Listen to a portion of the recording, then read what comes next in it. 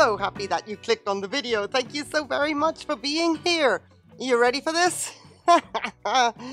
because, uh, yeah, today I want to talk about mounted orchids, address some details about their care, and that will lead me to explain why I have some ugly looking mounts. Not because the orchid is ugly, but because of the care requirements of those orchids in my climate and other reasons. I have the pretty versions of classic mounts which enhances the orchid growing on it. And then I have the examples of my inorganic mounts which are not at all aesthetically pleasing, but the orchids are growing really well and they are the ones that make that kind of a mount look good. So let me put it out there right out of the gate. I am a fan of growing orchids in the landscape. That is how I started growing orchids seeing as we had a couple of videos addressing coco coir. In Kenya, I used to use the hard shell with coir still in it to attach my divisions to the trees in my garden and let the orchids get on with it, allowing nature to do its thing. Not once did I take anything regarding salts in the coconut outer shell and the coir into consideration. I even collected what was lying around the beach and held onto it for the next division I would hopefully get from some family that had their orchids growing large enough to cut pieces off for me. Not once did it occur to me that they needed treating, flushing, or anything like that. And not once did I see an orchid struggle. On the contrary, they settled in and eventually took off and grew. But I was not looking for signs of struggle. I was oblivious to that. I saw what I saw in friends' gardens and wanted to do the same where I lived. However, here's the difference. I had Mother Nature on my side, and in Kenya we had daily torrential rain for a stint during the two rainy seasons per year. Thinking back, that is why I got away with using coco coir in its raw form loaded with salts. Mother Nature did the work, and the only culprits for destruction were the monkeys who occasionally absconded with pseudobulbs or chewed on the leaves. This tangent was important for me because living in a climate where orchids can be mounted on anything and everything and left to their vices without much interference or repotting maintenance is the best environment ever. However, for many of us, that is not reality. So we try to mimic presentation and material to make our orchids grow mounted and then, given the right circumstances in a controlled environment, we can recreate some of the feeling of growing an orchid as naturally as possible, even within a contained environment. But the struggle gets real really fast when it comes to keeping up with the vigor or size of a mounted orchid. When it comes time to water and fertilize, supplement and flush. Not so much in a controlled grow space, but when growing outdoors, when temperatures permit, and indoors when temperatures are not ideal for a mounted orchid, this struggle gets real, as is the case in my climate. Add to that a climate that is super dry, where the average humidity for the year is around 30%, it really proves challenging to support a mounted orchid. Maybe not in the initial stages because the orchids we acquire are usually small to begin with, and then we hope to grow them to size, but long term, as the orchid grows to size, the care increases Watering increases and so does everything else, including the overall weight of the mount. Any epiphytic orchid can be mounted on pretty much anything as long as the material does not burn the roots, which can happen when we over-fertilize and the humidity does not match the fertilizer concentration, resulting the drying out of the mount to happen far too fast before the roots have had time to absorb all that we provided. And as long as the material that we mounted the orchid on does not degrade too fast, because the reason for mounting an orchid is not always and exclusively about aesthetics, but the longevity of leaving an orchid to grow undisturbed for years and years. So of course we have to be mindful of the material we choose for the orchids we are going to mount. The damage to a root system of an orchid that has been mounted on something that ends up degrading too fast is exponential. The risk of setback or stalling is super high. So it is advisable to choose wood, rocks, or bricks even that pose no danger of either burning the roots or, in the case of wood, degrades too fast. Taking the options of what wood is best and is rot resistant, hardwood is the way to go. And here are a few examples. Ideally, you want to be using oak, hickory, pecan, manzanita, cedar, redwood, locust, lilac, citrus, gorse, and even Douglas fir bark. If you opt for cork bark, however, make sure that it is baked cork because the material that comes straight off the tree and is dried naturally, although great, it is extremely porous and will degrade faster than anticipated. Baked cork bark is also important because it sterilizes the material throughout, resulting in a critter-free material because who wants to mount their orchids on a piece of bark that has pests in it, which could immediately do a number on the orchid? I have my Dendrobium community mount on such a piece of baked cork bark, and not only is it holding up the weight of the aphyllum, but it has stood the test of time for the past five years with no signs of showing any degrading anywhere. Thank goodness. I will leave everything else up to your imagination to think of, uh, th- yeah, that piece degrading too fast. the woods that I would identify that are not ideal to use as mounts are pine and fir, even though I just mentioned Douglas fir, but include basically any wood that has resin or aromatic sap in it. Then other not so recommended woods are willow and birch because they are too smooth. The roots love to grab onto all kinds of irregular surfaces that gnarled wood provides. The smooth wood would work, but it may take a little time for an orchid to actually attach itself. Also, as mentioned, anything along the lines of rocks, lava rock, granite, large river rocks, bricks, terracotta tiles, broken pieces of clay, etc., etc., also serve as perfect mounts as these materials will not break down anytime soon.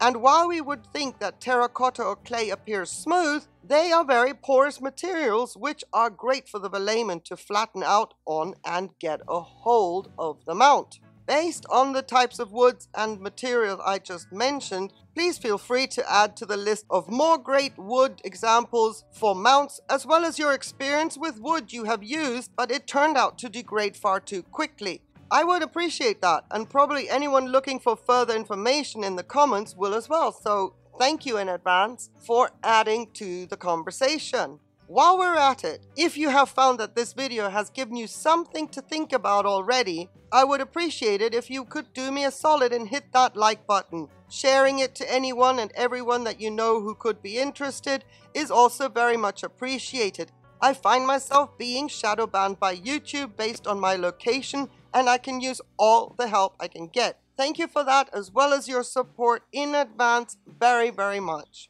Right, as I mentioned earlier on, all epiphytic orchids can grow mounted if the needs can be met. But there are some orchids that do grow better in pots. However, some that absolutely thrive mounted are Cattleyas. For beginners, brassavolas are great, seeing as brassavolas are also somewhat drought tolerant. They require less maintenance than other types of orchids. This gives a beginner some grace in the care while learning the ropes of cultivating orchids on a mount. Other types of orchids that do well on a mount no matter the material of choice would be Vandas, Angraecoids, Tolumnias and Phalaenopsis. Like I said, the possibilities are endless if everything can be provided for and the size of the orchid can also accommodate the space long term. Also know that orchids grown on mounts in a home environment need to have a higher tolerance of drought than if you were to cultivate your orchids in a greenhouse where the humidity can be regulated to accommodate the periods in between watering. But regardless of which orchid type you decide to mount and where you grow your orchids, even the best way ever al fresco all year round, make sure that it is healthy.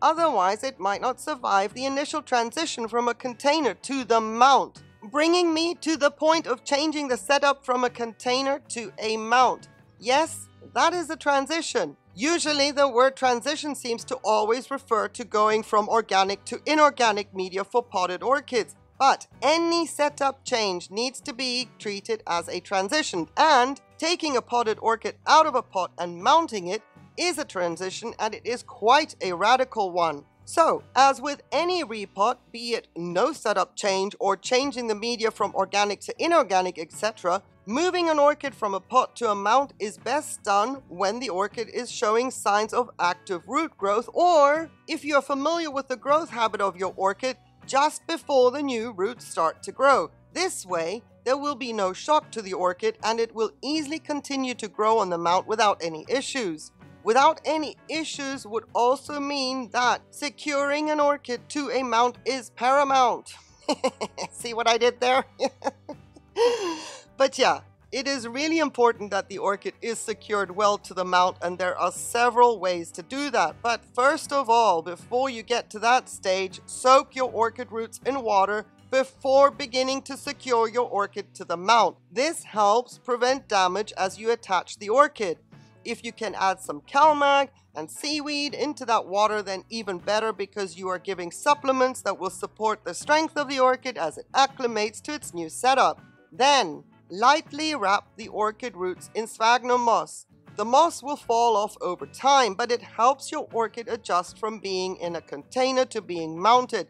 The moss will hold on to a little extra water for the orchid each time you water it in the beginning. Using strips of pantyhose, string, fishing line, or wire, attach the base of the orchid to your mount. Wrap the material tightly enough that the root system stays in place, but be careful not to be too ambitious as to how tight your orchid is secured to the mount because it is possible to accidentally cut the roots. The pantyhose or other material can be removed once your orchid roots begin to grasp the mount on their own, securing the orchid to the mount. To avoid any serious damage from happening while you secure your orchid, Placing a thin layer of sphagnum moss will also protect the roots from the material you choose to secure your orchid to the mount with. Personally, I find that pantyhose is a very forgiving material because its elasticity is an advantage without crushing the roots as it stretches and tightens over the sphagnum moss layer. In addition to that, it holds the sphagnum moss in place and can be removed at a later stage or left to become one with the microclimate that the mount will create, until it is either not visible anymore or even degrades and falls off without doing any major damage to the roots that have grown in and around it.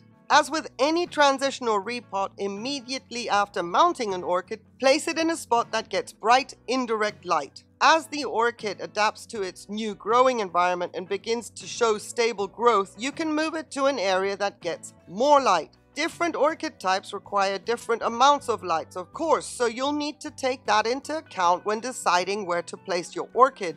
Do not add to the stress of the transition by exposing it to the conditions it could handle while growing well in the pot, or even if it is fresh out of the box and you are mounting your orchid straight away. The same care needs to be taken into consideration, but on top of that, the acclimating phase as well, because now it has to not only grow in a different setup, but also acclimate. However, now that you have your orchid mounted, the major factor of your care kicks in because a mounted orchid typically needs more watering than a potted orchid. The needs for watering will vary depending on environmental conditions like light, heat, air circulation and humidity, but most mounted orchids will need to be watered almost daily or at least three to five times a week. Your humidity levels will be the key factor as to how often you will be needing to water your orchids. Orchids that are grown indoors but not in a greenhouse per se can survive a few days without water, but this can stress the plant and should not be done often. There are several ways of watering an orchid. If your tap water is no higher than 100 parts per million, then it is wonderful to be able to take your mount to the sink and run it under the water for a few minutes. However, if your tap water is not within a safe range, as in soft, then you will have to take the water that you use for your potted orchids and spray them down or soak them in the tub until the mount is well hydrated. Careful with any new growth getting too wet though, unless you have the temperatures and airflow to ensure that they will dry out within a reasonable amount of time so as not to risk any rot. These forms of watering can also be applied when it comes to fertilizing and supplementing, so let's talk about that. And if I only reference fertilizer, know that I am including supplements as well because the how and how much also applies to supplements. Fertilizing mounted orchids is a delicate balance, and taking the humidity in your environment into consideration is very important because you can get away with higher fertilizer concentration in a high humidity environment, which you cannot get away with if growing in dry conditions. Applying a diluted fertilizer every week to start off with will let you observe how quickly the mount dries out and if there's any salt residue forming. It won't take long for salt residue to show, so corrections can be made very quickly by only flushing the mount for the next watering.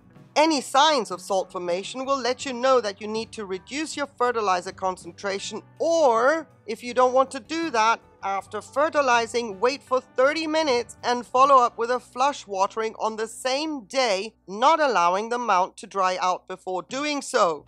However, the good news is, Seeing as mounted orchids need more frequent watering, there is actually no need to take the risk of going too heavy-handed on the fertilizer concentration because during the growing season, the orchid will be taking up nutrients relatively quickly, meaning that you may be repeating the application two times per week, hence doubling the amount of fertilizer because of the frequency that you are applying it while still keeping the concentration at a safe range that avoids salt buildup.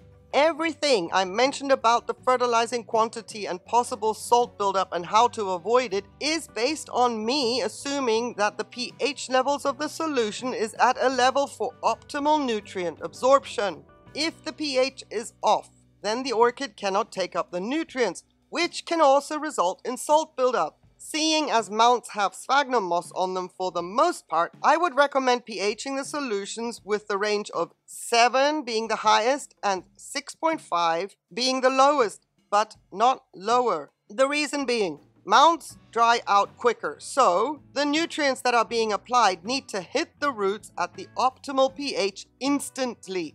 It is not the same as in a pot where the roots have more time to absorb the nutrients. Meanwhile, the pH range mentioned is ideal for pots as well, but for other reasons. So, if all your environmental conditions are on point and your fertilizer levels are conservative, but you are still getting salt buildup, then monitor your pH levels and see if there is something not quite right happening there. And when I reference high humidity, I mean 75% and higher consistently. That is where the humidity will help the higher fertilizer concentration to actually penetrate the roots without the mount drying out too quickly. When I have a day of 85% humidity, which happens hmm, maybe once or twice a year, I go gung ho with my fertilizer concentration because it takes hours for the roots to dry out. At any other given time, I am no higher than 300 parts per million for the bigger Vandaceous orchids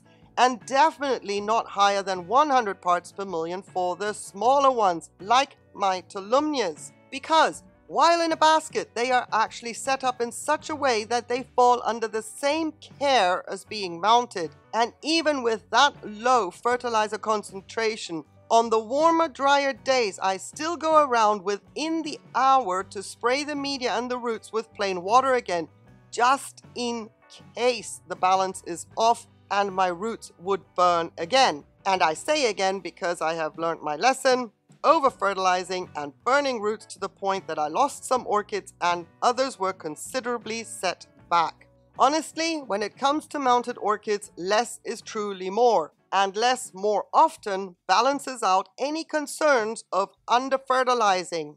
Leaching salts from a mounted orchid is just as important when being cautious about the fertilizer concentration because salts can build up from tap water or well water if the parts per million of that water is too high. Anything above 200 parts per million for the cleanest water is what I consider too high because I like to err on the side of caution. Other information out there confirms that the ppm of tap water can be higher and still serve well for watering orchids. However, by putting information like this out there, I prefer to be super safe as to what I say and I will not delve into margins that could cause issues.